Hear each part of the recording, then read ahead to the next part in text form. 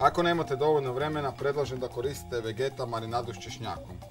Dovoljno ju je dobro protresti da se svi sastojci sljube, prelijete preko, premažite sa malo tog umaka, prekrijete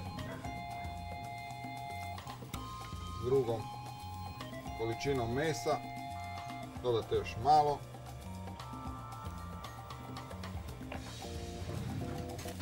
prekrijete folijom i marinirate u hladnjaku 30 minuta. Znači dobili ste na vremenu. Samim time zadržali kvalitetu. 30 minuta u hladnjaku.